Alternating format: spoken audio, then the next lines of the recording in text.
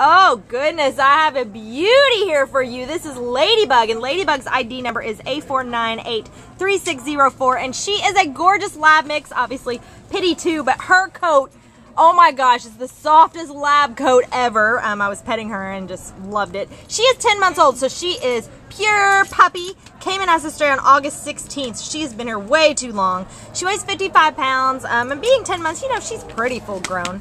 Um, she is such a sweetheart, kissy, lovey, playful, um, you know, just pure puppy, loves to cuddle. Anything else you can tell us about her, Jana? Oh, well, she's so sweet. I went into her kennel and she's a, she's a little bit overwhelmed with the noises here.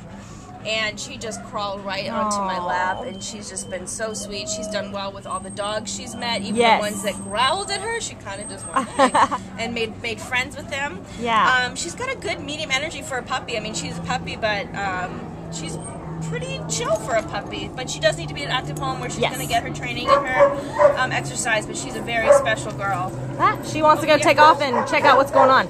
Yeah, we had some little dogs over here earlier, and she just like was right in their face, wagging their tail, meeting them nicely, um, very respectful and very ladylike. Um, so yeah, she's just got a great start with that. And um, yeah, what you doing, girlfriend?